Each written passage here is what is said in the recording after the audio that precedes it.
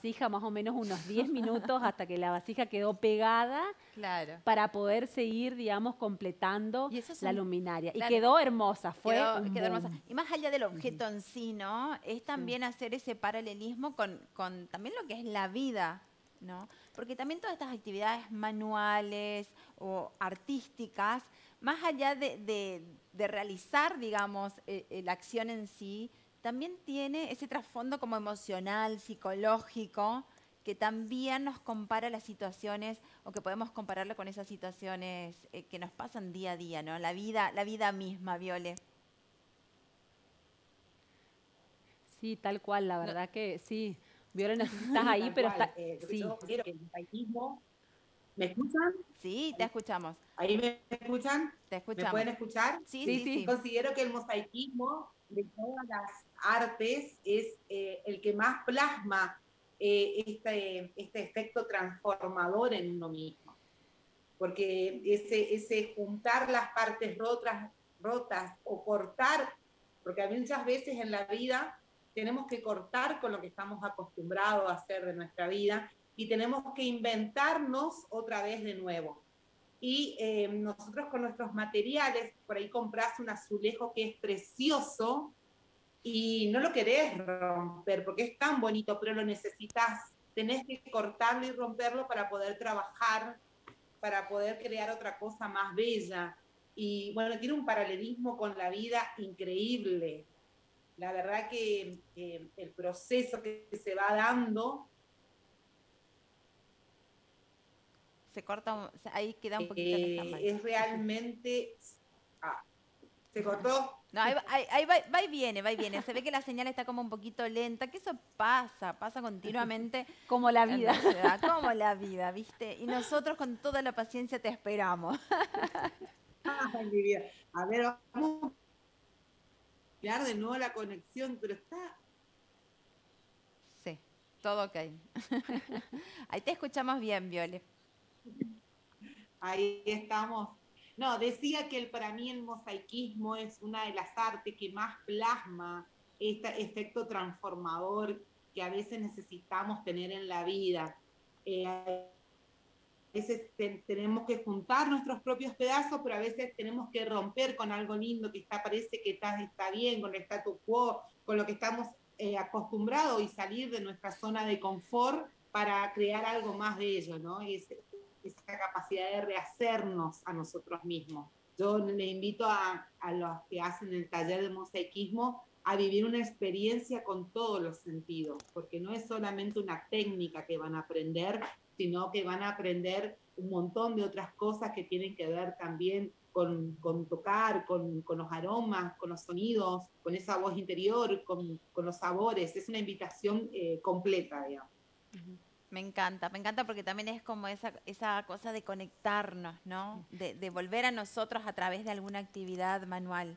Sí, tal cual Gaby, y, y Violeta menciona el tema de los sabores y los aromas y la verdad que nosotros terminamos el taller también a la luz de las velas, a la noche, eh, con unas tostaditas y con un vino también de fondo, tuvimos el, vino de la oveja bueno, negra, de las no chicas de. Baluarte, así que sí fue, fue una música re linda, o sea, la verdad que, como decía Violeta, vivimos una experiencia muy linda con todos los sentidos, súper conectadas y bueno, la verdad que fue un regalo, era lo que decíamos con Viole, un regalo de la vida.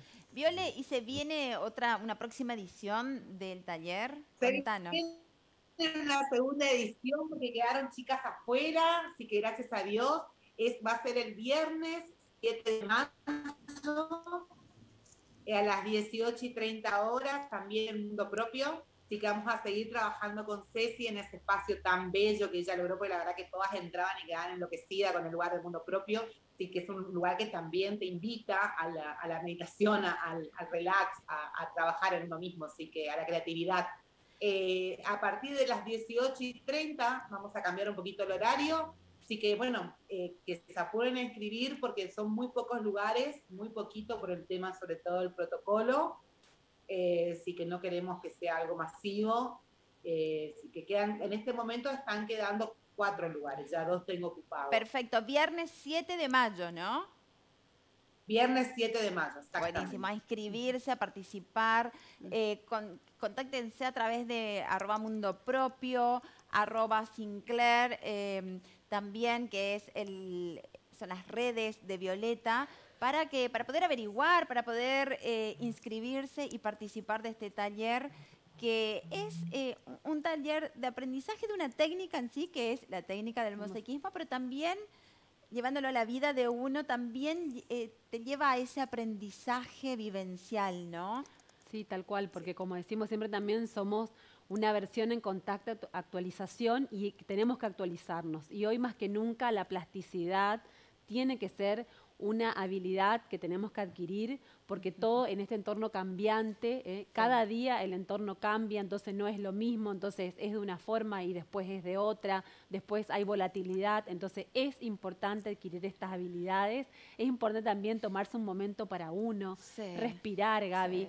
Eh, tratar de dedicarse a una actividad también que nos da placer, como esta del mosaicismo, que es tan linda, y la verdad que está con Violeta, que es una excelente docente. Violeta de alma quiere que la pieza te salga divina y eso creo que es, eso se transmite, porque la verdad que yo no podía creer, las chicas sin conocimiento previo. Una pieza, Sí, yo hice ah, muchas piezas ya con Violeta, hace mucho ya venimos trabajando hicimos Un, mandala en la pared Ay, qué lindo. Bueno, yo me voy a ir, voy a tratar de estar presente el 7 de mayo, porque la verdad que que, la energía y viendo, viendo las imágenes, ya uno se contagia y, ya te da ganas también de comenzar a crear, de comenzar a crear, ¿no? Y decir, yo también lo puedo hacer. Sí, tal cual. Uno animarse, ¿no? Eso es importante. Eso es muy importante lo que acabas de decir, Gaby, porque hay gente que cree, porque nunca hizo nada que tenga que ver con el arte, no puede, al contrario, todas las personas tenemos esa capacidad creadora dentro nuestro, solamente tenemos que dejarlo salir y nosotros le damos todas las herramientas para que eso pueda suceder.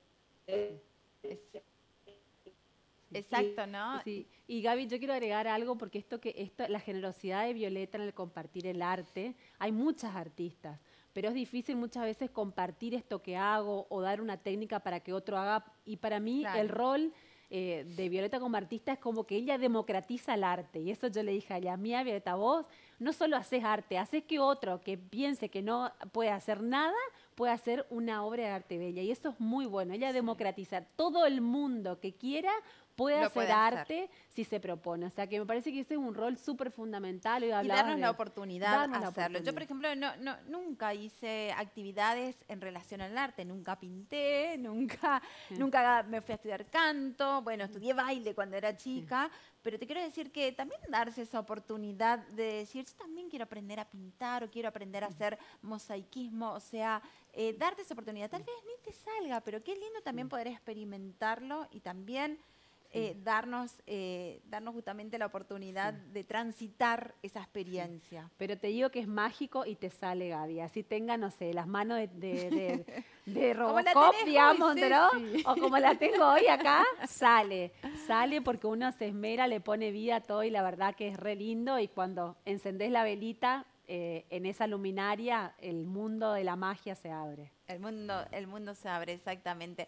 Bueno, Viole, gracias. Queríamos también chusmear un poquito ahí tu, tu, estudio, queríamos ver ahí en tu taller, ¿qué se ven atrás? Así como eh, queríamos, ahí atrás, arriba tuyo se ven, se ven como... No sé si se ve, bueno, acá tengo unas, unos canales, se ve, a ver. A ver, a se ve, sí. No, hay nada. no, no, no, no, perdón. Bueno, no, sí, sí, sí, te estoy descontracturando mucho otro día. Otro día nos vamos con la cámara y hacemos el paseo por ahí para que luzca todo lindo. Sí, nos queda, tenemos que hacer, sí, tenemos que hacer el paseo porque la verdad que Violeta encima toda la cocina, ella en la cocina tiene arte, tiene un mural de mosaicismo soñado, Gaby mientras cocina ve ahí increíble, digamos, eh, Gaudí un poroto porque está ahí a full Violeta. Me encanta, me encanta, me encanta. Y, que aparte todo eso también lo, puedas compartir en tu casa, ¿no? Todo lo que uno aprende o también que lo pueda ir plasmando en, el espacio donde está. Ceci, me gustó esta propuesta de hoy, esto de darnos ese tiempo de parar, de autoconectarnos con nosotros mismos y, y también de ahí poder avanzar, de ver qué es realmente lo que estoy necesitando. Porque aparte, hoy por hoy, hay muchísima oferta de todo, pero tal vez no, no todo nos sirve o no todo necesitamos, ¿no? Sí, tal cual. Esto de, de- de- de pensarnos, como decíamos, qué habilidades necesito desarrollar, paro, pienso, qué habilidades necesito yo Sí.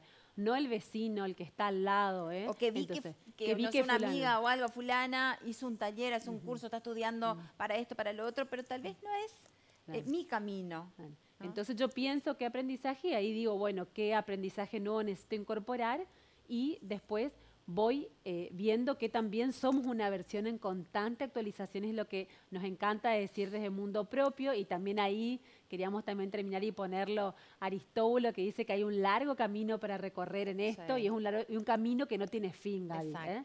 Un camino que seguimos aprendiendo por largo de los años, no importa los años que tengamos, yo siempre pongo el ejemplo por ahí eh, de las personas mayores eh, que siguen adelante y que siguen ahí con su propósito, así que siempre hay un largo camino para recorrer y el aprendizaje no termina nunca. Exactamente, es que la vida es un aprendizaje. Gracias, Viole, te mandamos un beso grande y ya nos vamos a ir con la cámara a recorrer.